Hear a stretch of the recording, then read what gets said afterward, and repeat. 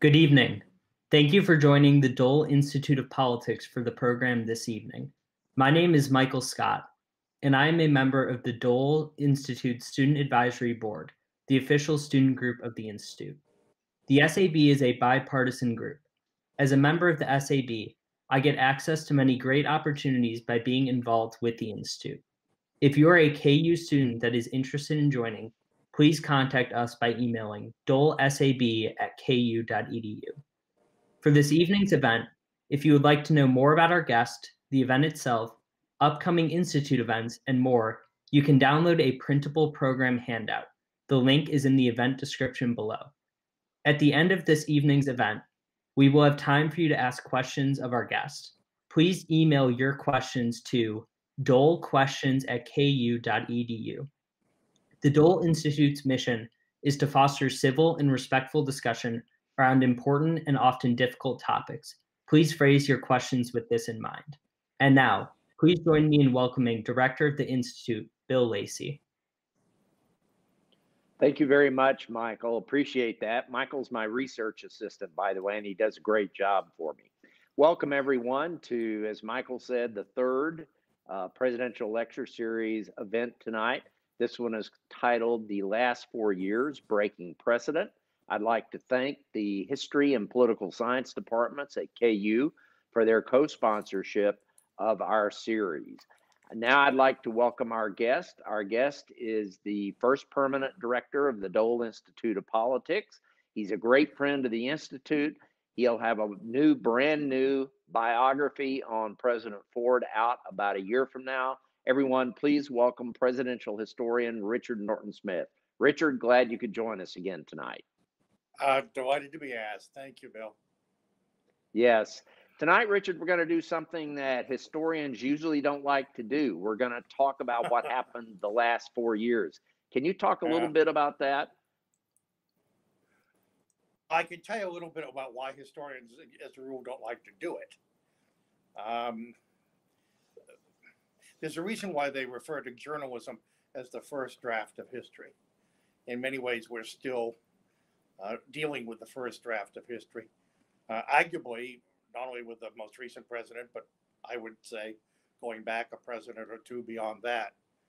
Um, that's because it takes time, particularly as we are tonight, uh, when you're dealing with a controversial, uh, even polarizing figure. Uh, the fact of the matter is, emotions are running very strong, pro and con, uh, and it takes time for those emotions to cool a bit it takes time for perspective to form. It takes time for a president's papers to become available. It takes time for those around the president to speak candidly, uh, perhaps more so uh, than they were willing or able to do while uh, while uh, in office. Uh, there are a whole a whole bunch of factors, and of course, let's face it, we we assess presidential performance um, not alone but as part of a continuum. Uh, the fact is that presidents, however much we like to think that January 20th, every fourth year, begins the American experiment over again, uh, the fact is that history uh, is a continuum and presidents deal with many of the same issues. I mean, how presidents, for example, uh, have dealt for 50 years with the Middle East, how for 40 years they dealt with the Cold War, uh, how they deal with economic uh, distress, um, how they will deal going forward with global warming. Uh, for example, all of those are issues that transcend any one president or, or presidential term. And so we, we need more than one term, uh, the distance um, and, um, and the events uh, with which to compare one president's performance perhaps against another. So all of those are reasons why I shouldn't take you up on your uh, invitation um, and uh, step over the abyss into offering an opinion. Particularly, um, let's be honest, we're dealing with a president um, who was controversial to begin with, and who is uh, um, arguably more so since the events of January 6th. Well, let's get into it then, Richard. Um, I found a very interesting quotation from uh, four years ago from Salena Zito in the Atlantic. She wrote, When he makes claims like this, the press takes him literally, but not seriously.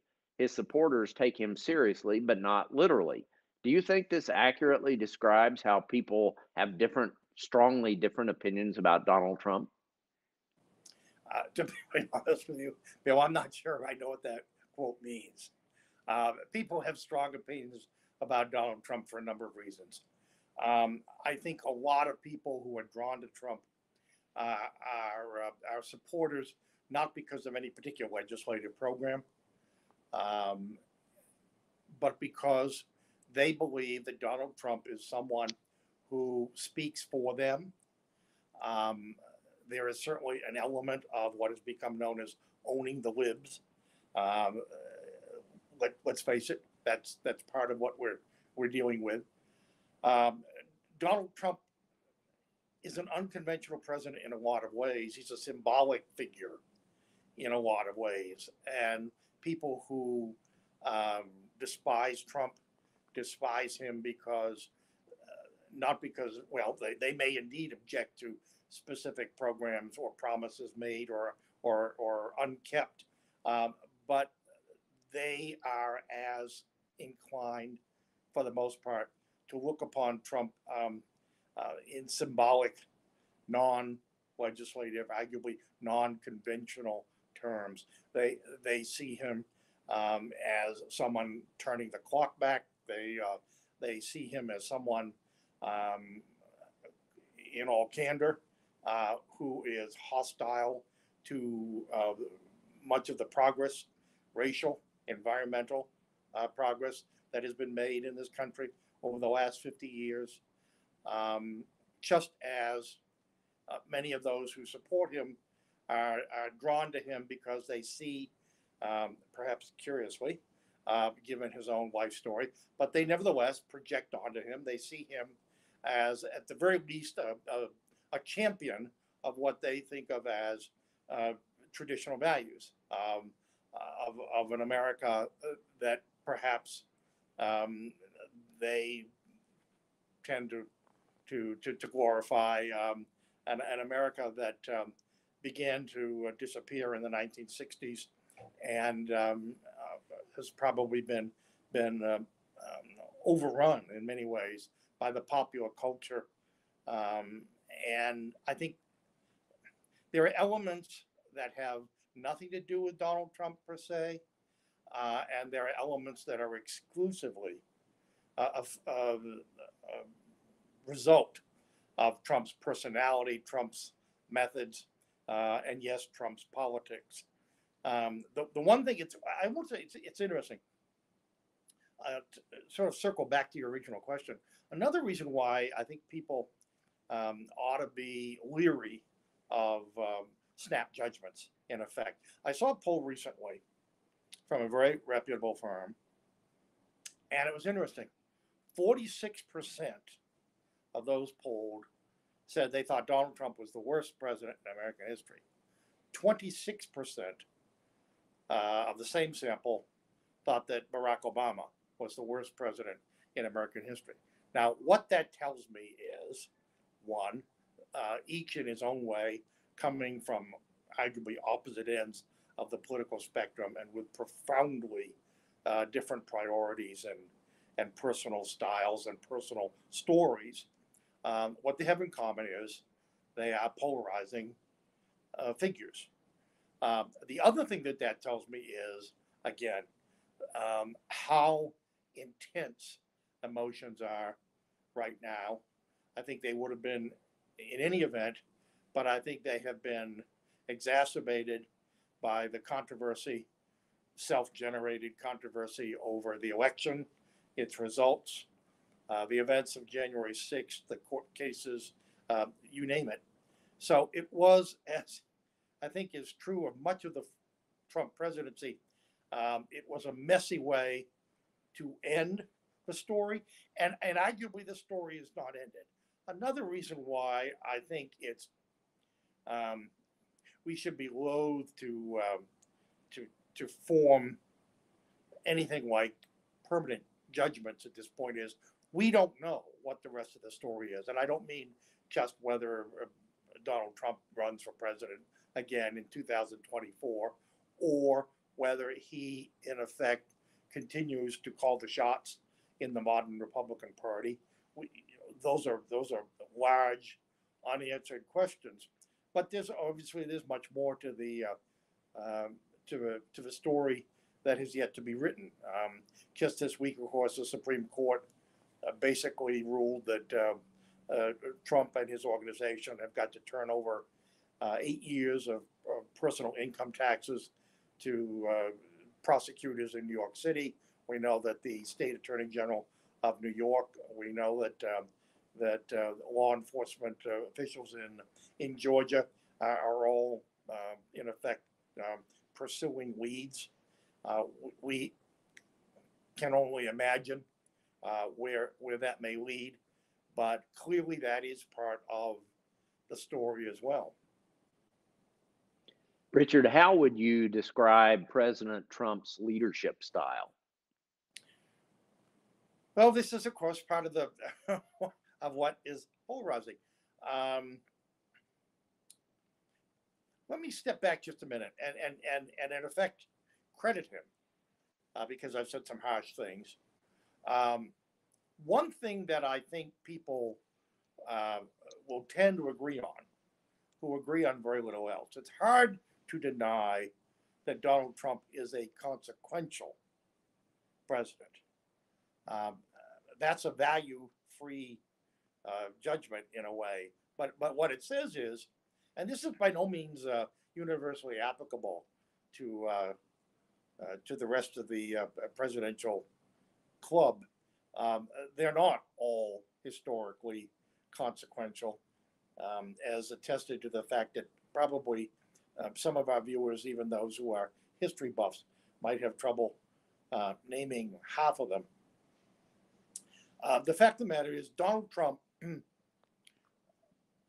has left an imprint. Um, certainly, uh, um, well, for example, um, if you look at the federal judiciary, of something like 200 judges, um, federal judges, uh, who uh, were appointed during uh, four years in office, um, three members of the United States Supreme Court. I mean, some presidents never get a Supreme Court no- nomination. Uh, and, and Donald Trump clearly has uh, moved the court to the right. Um, it's, again, remains to be seen. Uh, that's more of the story that uh, has yet to be written. But as it is, it too will be factored in uh, as people form estimates of, of, of Trump's historical um, significance. Uh, as a leader, he defied convention. Um, for example, uh, most people, um, uh, particularly when they're elected uh, in a controversial uh, situation or by a narrow margin, um, you know, politics 101 is you spend the next four years not only tending to your base, but trying to expand it politics famously is a game of, of multiplication, um, not subtraction. In some quarters, apparently, it's a game of division. And um, I think that's been one of the ways in which Trump uh, certainly uh, had a uniquely personal uh, leadership style. He, uh, I can't think of an instance in four years where he made any, certainly any sustained effort uh, to try to uh, to reach out to quote the other side. With I'll tell you one one important exception, and this is also part of the record. Uh, some of the criminal uh, justice uh, reform measures um, that he um, signed off on, reportedly at the behest of his son-in-law Jared Kushner. But but nevertheless, that's that's important, and it's interesting. Um, one of the um, the numbers that did budge in November in, in an electorate that is famously polarized. Um, the fact is that Donald Trump did better, measurably better, four years later than he did in 2016 among non-white voters. Um, he got 19% of black men, which, by the way, is the highest percentage for a Republican since Bob Dole in 1996. Um, he also did uh, notably better among some Hispanics, certainly uh, enough to carry Florida convincingly, and also a significant uh, improvement um, in South Texas. Um, so it's interesting. Um, there are clearly segments of the electorate that find Trump's line in the sand approach uh, to politics to be to be very attractive. Um, we cannot overlook the fact, for all the controversies, um, and and I would argue for all of the missed opportunities, uh, for uh, I think a mismanaged response to coronavirus. Um, anyway, uh, you, you, can go on, but the fact remains that uh, Trump got 11 million more votes um, this time around than he did four years ago.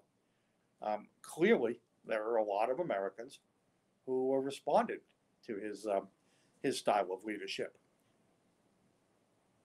A lot of Americans uh, would agree with you um, uh, on the you know the conservatism in the judiciary, the criminal justice. Uh, many would argue that he did a lot of uh, of uh, unregulating of the economy and created a great economy before the pandemic. So there are things that uh, you know anyone can point to. What about failures? You touched upon the pandemic, but talk about some of the other things that you feel President Trump could have well, done a better job on. I, I this is again a classic instance of, of why it's premature, in effect, to be passing judgment. You mentioned deregulation. Uh, it really depends, uh, you know, uh, what side of the coin you're on. There is no doubt at all. Uh, Wall Street liked uh, the Trump presidency for the most part. Uh, it certainly um, reveled in the in the deregulatory atmosphere that that Trump ushered in. on the other hand, there are many people who feel just as strongly that um, it represented a backtrack uh, on particularly environmental protections. Um, and of course, uh, the fact that uh, we unilaterally uh, withdrew from the, the Paris uh, Climate Accord, um, that we indeed, in a larger sense, um, seemed um, willing, even eager to cut some of the most um, long-standing uh, ties with allies in Europe, uh, for example. Um, we were told that uh, a new day had dawned um, with uh, American relations to North Korea, but uh, aside from a few spectacular photo ops, um, uh, there's no evidence uh, of any softening on the part of the North Korean regime or, or any decrease in in their uh, nuclear weapons program. Um, we withdrew from the um, the uh, Iranian deal in terms of uh, um, restraining the Iranians from developing uh, an atomic bomb. Uh, who knows what the uh, what the long-term consequences are of that? this administration is now attempting to um, to put the genie back in the bottle, uh, as it were.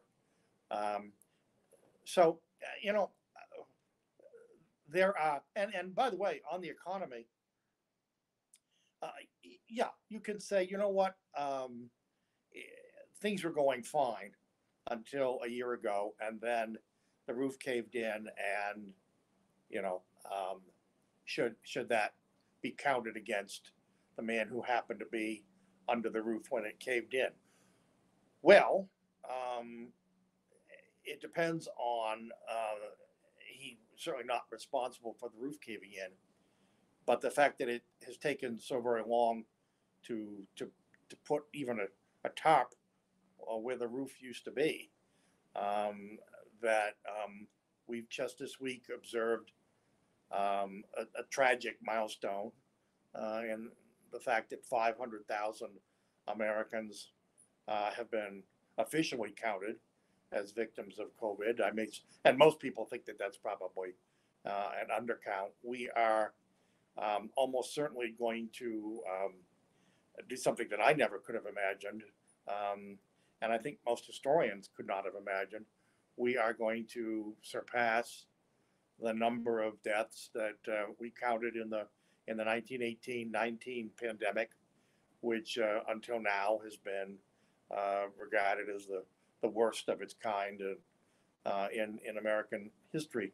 So, um, and even before the spring of of uh, last year, uh, if you step back uh, and look at the numbers, the, the, the fact is that whether it was unemployment or or inflation, um, in many ways, the Trump administration was a continuation, uh, albeit from, you know, with, with some very different policies, a continuation of the long, accelerating economic comeback uh, that occurred during the eight years of Barack Obama. Of course, they had a long, long way to come back uh, after the uh, the collapse of of 2008. Well, let me um, let me ask you kind of a political question, Richard. Uh, it's a demonstrable fact that, uh, and I think Gallup is the one that said this, that President Trump wound up with the poorest average job rating of any president in history. Uh, but President Trump, uh, who was politically very successful in 16, and you pointed out some of the successes he had since then, uh, but he he lost the House, the White House, and the Senate in four years. Had that been done before? Well, Barack Obama lost, uh, you know, after the Democrats regained Congress in 2006. And, and then came the, the, the year of the Tea Party, remember, in 2010. Ironically, the year that Obamacare was passed. And um, and at the time, at the inception of the program, when it was an abstraction, when it was a, a vague sort of conjecture, and to many people, uh, it was easily uh, represented or misrepresented as an intrusion by Washington on, you know, the sacred relationship between patient and doctor. Um, the same sort of thing that was said about Medicare uh, before it was passed um, uh, over 50 years ago. Uh, ironically, um, you can in some ways sum up the uh, the fortunes of the Democratic Party over the last 10 years by contrasting uh, the numbers uh, for Obamacare. In 2010 when it was brand new, and in 2020 when when many Democrats basically ran their whole campaign or based uh, much of their campaign on the issue of uh, keeping um, and, uh, if anything, strengthening Obamacare. How did President Trump use social media differently than other past presidents? Well, here is, uh, again, this is something that I think, whether you, uh, again, however you feel about the message being sent, there's no doubt that um, um, Donald Trump was a transformative president in terms of how he communicated uh, to the American people. Uh, we think of FDR, and it's an inseparable um, connection. He and he and the and the radio. Uh, uh John F. Kennedy, uh, you know, and the televised press conferences. Uh, Ronald Reagan and the Oval Office televised address. Um, all of them, in their own way, very different men, very different styles, very different agendas. But they all succeeded because the next day uh, they were the chief topic of conversation around the water cooler. Um, there's no doubt, uh, whatever the equivalent of the water cooler is uh, in 2020, that Donald Trump succeeded in his uh, overriding objective, which was to make every news cycle as much as possible about him. Um, and and he did it with Twitter more than anything else.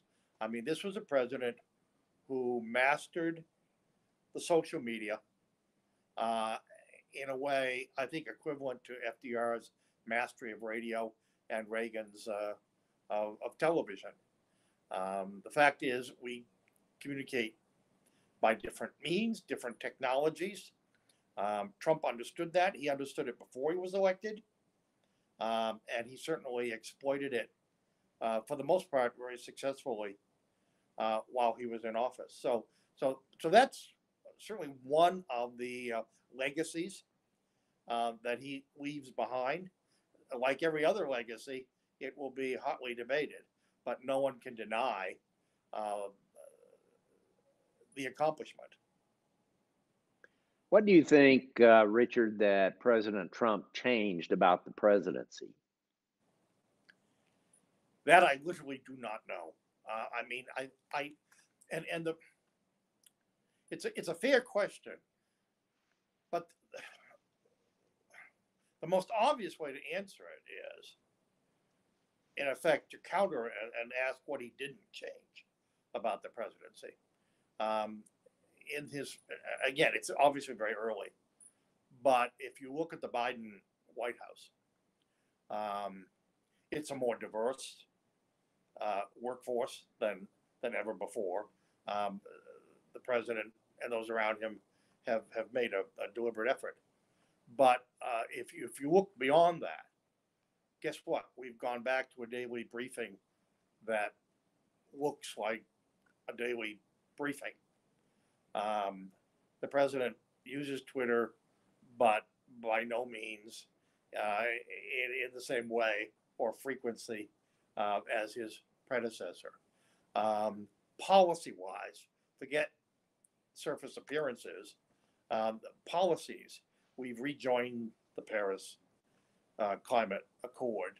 Um, there are efforts underway to try to uh, reopen talks, as I mentioned, with Iran. There is clearly uh, an effort uh, being made to repair what is perceived to be a damage um, with uh, the NATO allies.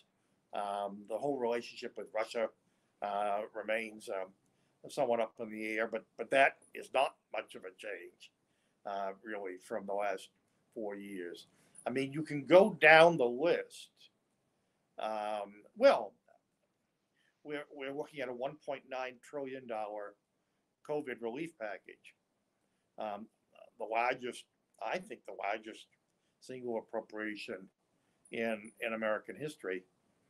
Um, and in many ways reflective of what you might call New Deal liberalism. I mean, uh, Joe Biden is uh, uh, makes no no secret of his admiration for FDR or the kind of emergency, uh, crisis-driven leadership that uh, that he provided in the 30s, and for that matter, during the war in the 40s. Um, and um, that's the model, if you will, uh, perhaps more than any other. Uh, as we said last week, he's also, I think, learned from some of the mistakes um, that were made um, from some of the misplaced efforts at uh, at bipartisanship, um, and um, well, the, the, model seems to be go big, and and that um, may very well, for example, just today we're hearing about efforts to uh, raise corporate taxes, um, not back to old levels. They talk about 28 percent, I believe, uh, and and there's no word yet about um, personal rates, but um, clearly there is an attempt on the economic front to undo um, at least parts of the Trump agenda if you remember, in, in 2016, uh, presidential candidate Trump talked a lot about a middle class tax cut.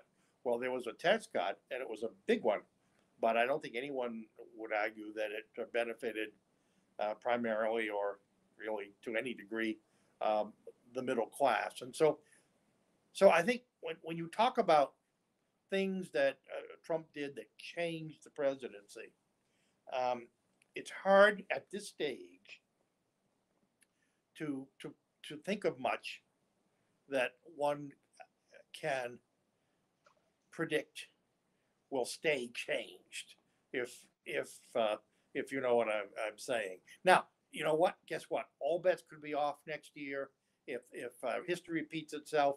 If anything like 2010 occurs, if the Republicans take back one or both houses of Congress, which is entirely uh, possible uh, given historical trends uh, during a presidential uh, midterm election, um, and and you know all of that, all of that um, um, could be erased in a moment. That said, um, and aside from the judicial appointments that I referred to earlier, which are certainly not insignificant, um, and and which will and in fact are already having impact, for example, on policy. I mean, the if Congress is unwilling to act, more and more you find judges either forced to or eager to, in effect, uh, step into their place and become at least adjunct policymakers. So it matters uh, if uh, if uh, a majority of uh, of judges on the federal bench bear the imprimatur of the Federalist Society, um, or if they're um, endorsed by Chuck Schumer. Richard, you mentioned uh, a few minutes ago we talked about social media, and you talked about how that had been something very consequential that President Trump has has done.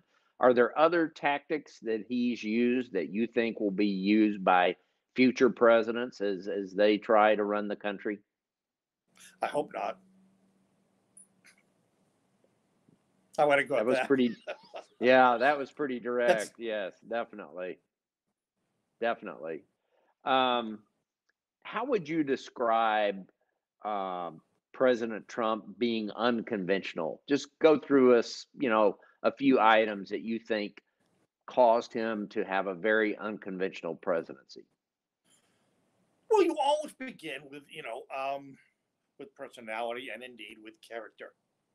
Uh, character defines personality. Character defines um, performance, whatever the job. Uh, it's certainly uh, um, the, the, man whose name graces the Dole Institute is Exhibit A, uh, and um, and everyone's got their own personality, their own character, their own flaws, their own strengths. Um, I think Donald Trump would be the first to tell you that he wasn't a politician. Um, he wore that as a badge of honor. And there's no doubt that there were, there were and are a great many Americans uh, who voted for him precisely because they believed him. Um, the whole the whole line about draining the swamp. Again, we could we could debate um, whether it was carried out or not, um, but nevertheless, it's it's a it's a very appealing. You know, it's the appeal of the outsider. And, and isn't, it, isn't it ironic that a self proclaimed billionaire um, and um, hotel magnate, tycoon, um, star of a television series um, should credibly present himself to millions of Americans as as an outsider. I think that is a secret to his appeal. Um, of course, being an outsider traditionally, conventionally, means you think of uh, uh, Jimmy Carter was an outsider when he was elected president. Ronald Reagan was an outsider when he was elected president, and and, and each in his own way tried to compensate for that fact. Um, Reagan, I would argue, very successfully. Uh, if you look at the uh, the amount of time he spent courting Congress and not only Republicans, but critically uh, Southern Democrats, conservative. They were conservative Democrats in those days. They were Southern Democrats in those days, uh, enough to form a majority under some circumstances in the House of Representatives. Um, and um, the Reagans actually were accepted in Washington. I mean, you you you know better than I, but I mean they they made themselves uh, at home in, in Washington, and yet it was part of Reagan's political magic, you know, suspension of disbelief. That six or seven years into his presidency, he could still present himself uh, to Americans as a as an outsider to Washington. Um, well, Donald Trump had that quality compounded. Where it became, I would argue, problematic was, um, in addition to being an outsider, um, there was an element of, of, well, how, many times did I hear President Ford or Bob Dole uh, say a variation of the line, you know, I don't have enemies, I have adversaries. Uh, and, um, you know, you don't have to be terribly nostalgic uh, to remember a time in Washington when um, famously Reagan and Tip O'Neill uh, would fight like cats and dogs until six o'clock. Um, and then uh, they thought nothing of kicking their feet up and and having a drink and swapping Irish stories. Um, there was none of that in the in the Trump era, and I think there was a very he didn't start it. Let's be fair. Um, Trumpism, I think, would exist without Trump, but the polarization, the bitterness, um, the yes enmity, not just disagreement about ideas, but questioning people's motives and even their patriotism. Um, no one man is uh, wholly responsible for that, but I would argue that, um, that Donald Trump exploited it, um, and I think very profitably most of the time. President Trump didn't accept the election results and he never conceded to President Biden. Uh, is there any precedent for that in uh, presidential history, Richard? Not in recent times. You have to go back 150 years. Interesting enough, uh, there's another impeached president, Andrew Johnson, who uh, despised Ulysses Grant. The feeling was mutual. And on Inauguration Day, 1869, uh, the story goes um, that Johnson wasn't going to attend, and then at the last minute he decided he would attend. And at that point, Grant didn't really want to, you know, pick him up in his carriage and, and go down Pennsylvania Avenue with him. Uh, and it's not clear even now. Grant may have changed his mind and been willing to go through with the uh, uh, the ritualistic uh, handover of power. Um, of course, ironically, Andrew Johnson is the only American president. We all know John Quincy Adams is the only president who was an ex-president was elected to the House. Andrew Johnson was elected to the Senate from Tennessee. Um, he came back to Washington. The Senate, of course, the same body that had uh, come within one vote of convicting him on the impeachment charges just a few years earlier. Um, uh, he died before he could he could take his seat. But uh, that's the last time that a president deliberately absented himself. It did happen. Uh, uh, there's something in the in the Yankee blood, maybe. Both John Adams and his son John Quincy Adams uh, stayed away from the inaugurations, respectively, of Thomas Jefferson and um, Andrew Jackson. Um, again, there was a, a lot of uh, bad blood um, between all four men, um, which accounts for um, the display of bad sportsmanship, if you will. But you know, the the the overwhelming tradition. There have been a number of inaugurations when, uh, quite frankly, that ride which is only a mile down Pennsylvania Avenue, must seem like forever. Um, you know, FDR and Herbert Hoover in March of 1933, that was not exactly a laugh riot. Um, uh, they were going through the motions, uh, and to their credit, uh, they they went through the motions because they understood the symbolism of a peaceful transfer of presidential authority uh, in what was even then, I think, the world's oldest republic, uh, was larger than the uh, the very real, very intense personal animosities that existed between the two men. Harry Truman and Dwight Eisenhower. Uh, it was pretty heavy weather uh, in that limousine that day, um, going to uh, Ike's first inauguration. Um, there was no love lost between Dwight Eisenhower and uh, the successor he, he referred to as Little War, uh, Little Boy Blue um, in 1961. And uh, certainly Ronald Reagan and Jimmy Carter probably would not have chosen to be in each other's company at that particular time if they had uh, a constitutional alternative. But, um, you know, they, they went through the motion. And I have to say, and again, I'm, I'm biased. You mentioned my book on Ford.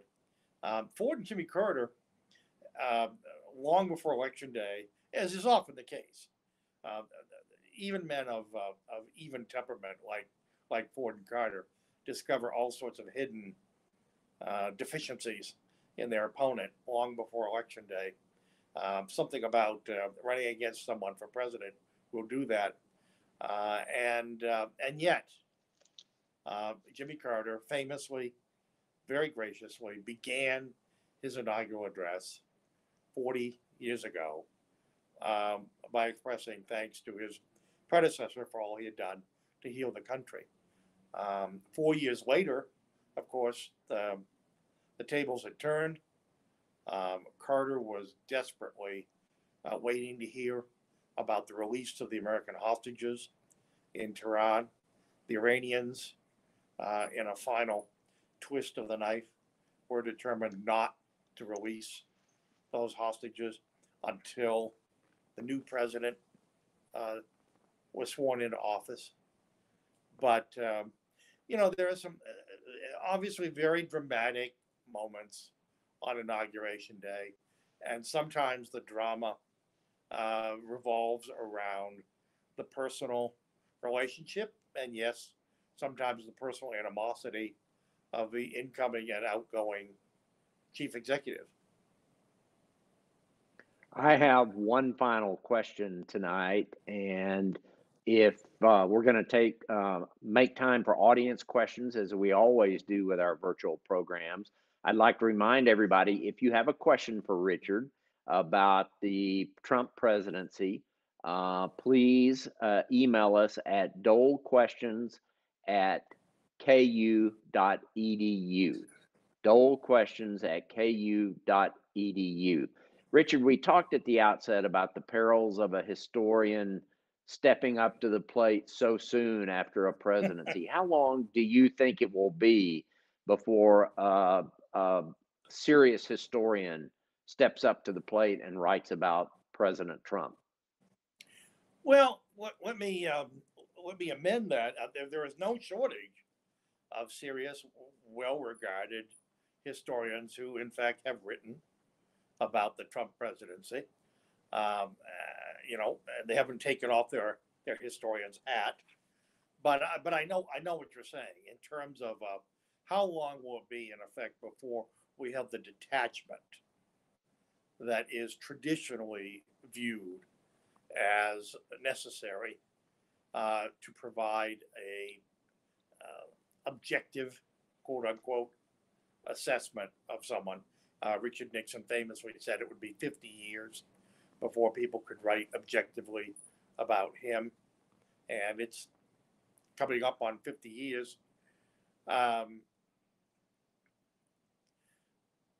I, again, I don't mean to evade the question. The problem is there is so much that is that is hanging out there. There is so much politically. We don't know if four years from now there will be a Republican Party, as we know it, uh, whether there will be a Trump party, a Patriots party, a, a Freedom Party, whatever whatever name it might go by. Um, we are in the midst of history making, and um, that that alone, I think, um, should should sort of put us on guard before uh, predicting um, when we will have put the history sufficiently in the rearview mirror. But it's certainly um, it, it, it's it's going to be a while, uh, and I would argue. But I also I have to say again to be to be put this into perspective. Um, there is something about the American political process, the American political culture, the broader culture, um, that has led to a series of polarizing presidents. Uh, I mentioned the number earlier about 46% and 26%, uh, both very high numbers in effect. Um, uh, both, I think, testament to the intense um, emotions that are being felt um, even as we even as we speak. Um, and it, again, that didn't begin with Donald Trump. Um, Bill Clinton was a polarizing president. Uh, certainly George W. Bush, Barack Obama. Um, I would go back and say Ronald Reagan who, who again, we, we tend to uh, uh, sort of deify, uh, you know, after the fact. Um, and, and he's certainly a historically significant uh, weather changing president. But precisely because he was such an agent of change. And maybe that's that's part of this. Um, the, the, you know Woodrow Wilson once said, if you want to make an enemy in Washington try to change something. Well, uh, Bill Clinton represented a significant change culturally, stylistically, from the World War II generation embodied in um, the first President Bush. Um, George W. Bush certainly represented a significant uh, change policy wise um, and stylistically um, from Bill Clinton. And, and certainly Barack Obama was elected in some ways amidst the economic crisis and, and war in the Middle East um, as the un-Bush. Uh, and, and certainly the, country took uh, a dramatic turn in an opposite direction in 2016 when it elected uh, Donald Trump. So, so you have this trend. It's more than a trend, I guess, now. It's become almost a tradition of uh, just as you notice, we tend to change Congresses every two or four years.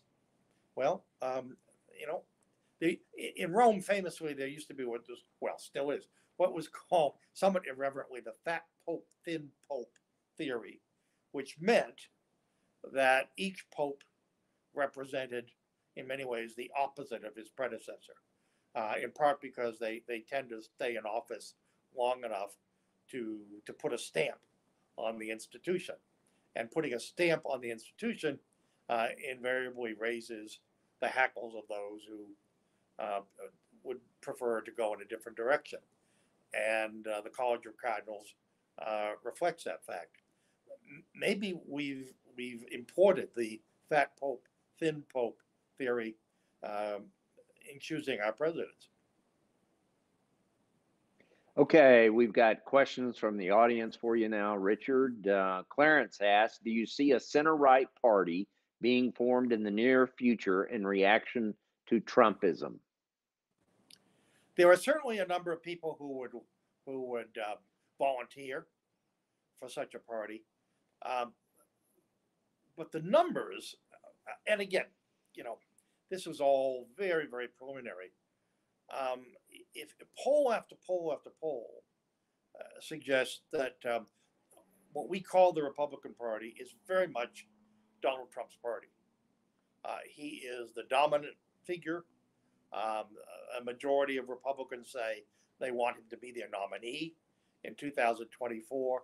A majority say uh, that they would follow um, him, uh, for example, as opposed to, say, Senator McConnell, um, uh, the majority or former majority leader, aspiring majority leader uh, in the United States Senate. Um, the question is if a majority of the existing Republican Party and a substantial slice of unaffiliated voters, particularly voters uh, who perhaps um, came out of the woods, as it were, uh, to vote for Donald Trump. Um, the, the fact is, those numbers put together may very well overwhelm the uh, f- fraction of more traditional, if you will, uh, conservative Republicans, what used to be called country club Republicans, Wall Street Republicans, uh, neocons. Um, you know, Ronald Reagan's genius politically was to hold together a disparate coalition, primarily but not exclusively, quote, conservative, um, including elements of the electorate who today are loyal to Donald Trump. Uh, and at the same time, uh, appeal convincingly to a majority of independents and even poach uh, some some Democrats. Um, that was the genius of Franklin Roosevelt in his time. The uh, the New Deal coalition was uh, a, a crazy quilt gathering of big city bosses and Southern racists and um, labor unions um, and uh, brain trust intellectuals, um, African Americans fleeing the, the party of Lincoln. Um, and, and what held them together? Franklin Roosevelt. What held the Reagan coalition together? Ronald Reagan.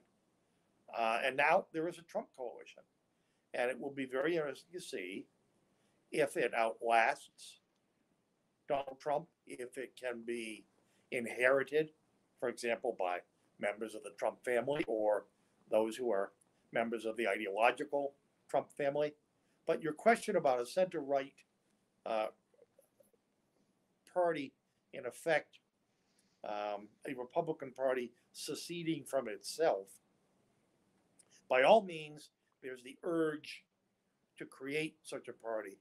Uh, I have real doubts as to whether there are numbers um, and ideas to sustain such a party um, as anything other than a third party.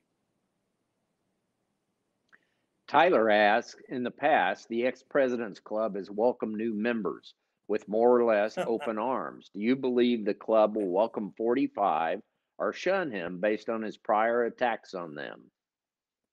Well, you're actually the the uh, what Herbert Hoover called our exclusive trade union has not always been uh, welcoming. Um, Hoover and Truman used to jokingly uh, debate among themselves whether they would let Ike uh, become a member. Um, I think the, the question goes both ways here. I, I certainly you, you could ask the question of whether the existing members of the of the of the exclusive trade union uh, want to have Donald Trump hanging around. But I think it's at least as likely, indeed, probably more relevant as to whether Donald Trump has the slightest bit of interest in in joining uh, such an organization. You know, if you saw him, for example, at President Bush's funeral, um, he was not comfortable. Um, that was not his milieu. And, um, you know, the former presidents tend to get together infrequently at funerals and library dedications. It will be very interesting to see, for example, uh, you know what? We may not be able to answer this question until there's a Trump library um, and a, a dedication of a Trump library to see who's invited and who shows up. Well, that's a perfect setup for the next question. Mark asks, as an architect and consultant for presidential libraries and centers, what do you think a Trump library or center will look like? What will my grandchildren learn from visiting this site? well, it's a good question. Uh, the, uh, and, and I, I, I, pause because uh, I, am asking myself, is this one area where convention will in fact uh, win out? In other words, there's a formula uh, for presidential libraries. Uh, it's evolved over time. Most of them, of course, today are located on college campuses. Um, I would think the number of universities that would um, petition for a Trump library would be limited. Uh, I'm sure there are some, but that that's one factor that I think perhaps might set it apart. But that said, the, the formula, of course, is that you build a, a, a museum, a permanent exhibit, uh, which as a rule tends to uh, make a present look pretty good. Um, and you have an archive uh, where uh, scholars can do scholarly research. Um, and over time, uh, the institution reaches out uh, increasingly to the to the community, um, school kids as well as scholars. Um, you know, becomes an economic asset, for example, for the region in which it's located. Anyway, all of those factors come into play. Um, and, you know, it is said that the former president is thinking of, um, of raising a ton of money to build a, a Trump library in Florida. Um, one thing that um, it, it'll be interesting to see, well, there's a lot of things that'll be interesting to see. It's all speculative.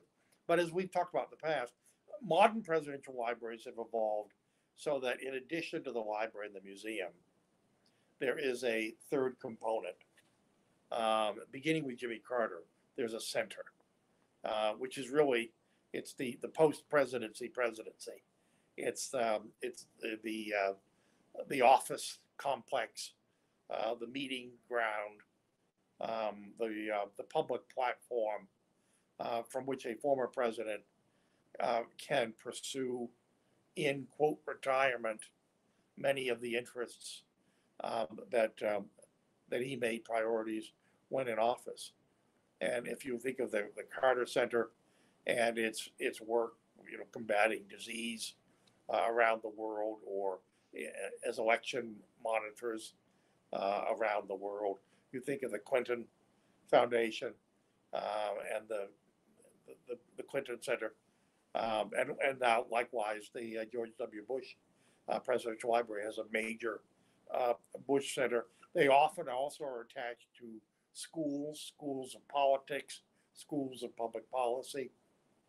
So they're, they're these hybrids. They're academic, tourist attractions, um, archival research centers, and in some ways, breeding grounds for ideas and programs um, that may carry a president's legacy um, long after he's left us.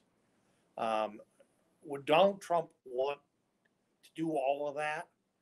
Uh, I have my doubts. Uh, my hunch is that he would want a museum um, that uh, is um, all about him uh, and uh, and, and let others worry about the, the, scholars and the public programming. Olivia asks, you alluded to this idea earlier in the evening in commenting that Trumpism exists without Trump. But in your opinion, would Trump be better described as a cause or as a symptom? Interesting. Um, I think Donald Trump very shrewdly, and, and in fact, in a way that was underestimated by many people, um, perceived trends in this country demographic trends, cultural trends, resentments of those trends, Um, there are millions of Americans, no doubt, who feel that the country, their country, if you will, the country they knew growing up, um, that that country no longer exists or or is in danger of, uh, of being taken away. Um, look, all parties appeal to some degree to people's resentments, even when they're taking pains to cloak that fact in an appeal to their ideals. Um, in the case of, of Trumpism um, and its namesake, uh, the appeal to ideals is is is less uh, is less apparent, and the open appeal to resentments uh, is uh, is harder to miss. Clarence asks, and this is a, a, tough question, Richard. How do you feel about Bob Dole being the only living Republican presidential nominee to endorse Donald Trump in the 2016 election? I think it was, uh, uh, I have to say, I think it was predictable in this sense. By the way, uh, not to sound offensive, but I would uh, uh, presume to uh, add a clause onto that question that Bob Dole was also, I think, probably the most prominent Republican um, to um, declare that Joe Biden had, in fact, been elected president uh, and would be taking the oath of office uh, legitimately on January 20th. Why did Dole endorse Trump? Of course, he endorsed him in 2016. I I will I have um, for over 40 years uh, made it a practice not to uh, talk about or speculate about um, my friend, uh, Bill's friend, and uh, at, at, times our boss. Um, I have a theory, which I don't think I'm. It's just my theory. Um, I think Senator Dole had and has, whether it's right or not, that's up to you, but has a profound sense of gratitude to the Republican Party. Um, you know, he's of a generation of people, particularly maybe in Kansas, who uh, define themselves, you know, um, in in a number of ways. You were uh, you were a Methodist for life. You were a Republican or, or Democrat for life. Um, you were in some ways you were emotionally branded. Um, but beyond that, if you stop to think, he spent his entire adult life in the Republican Party, campaigning for the Republican Party, um, competing, um, you, you might say, for for its honors, and the fact that in 1996 that party should bestow on Senator Dole um, the greatest honor uh, in its power to bestow. I think um, bred uh, an emotional a sense of emotional obligation almost that transcends the candidate. Uh, and again, you know, any one of us might um, uh, act differently, but none of us can put ourselves in his shoes. One final audience question what, tonight. By the way, Bill, uh, what, what do you think? Let me turn the table. What's uh, what you know? You you you've known Senator as long as I have. Yeah, I, I would agree with you 100%. I think it was out of loyalty to the party. And um, I think he was noticeably quiet during the election. I have one more audience question from Susie, who asked if you would like to run the Trump Library. I think I know the answer to that one. that presupposes that I would be asked to run the Trump Library. Now, you, you have to remember, I have had some some pretty bizarre experiences uh, in the in the process of uh, being asked to run libraries. Uh, you know, Rod Blagojevich recruited me to run the Lincoln Library in Illinois. Um, um, you know, and his predecessor, who who sort of got the place off the ground, uh, went to jail, uh, and then Rod went to jail. By the way, to, to be bipartisan, one was a Republican, one was a Democrat. That, that you know, that doesn't matter in Illinois. Um, I discovered uh, fairly early that the uh, the secret to success in Illinois government is is knowing when to get out, usually before the indictments arrive, and uh, and I, I just you know managed managed the trick. So I'm not sure I would want to uh, uh, um, risk uh, repeating history, uh, even assuming that there is anyone in the Trump organization who would uh, who would entertain the notion. It's in other words, it's a it's a non-starter any way you look at it. Okay. Richard, uh, next week we're going to get back together at seven o'clock and you're going to discuss your rules for a successful presidency. But we're also going to do something you've wanted to do for a while called Ask Richard. Are you going to be open to taking questions about any president next week? Absolutely.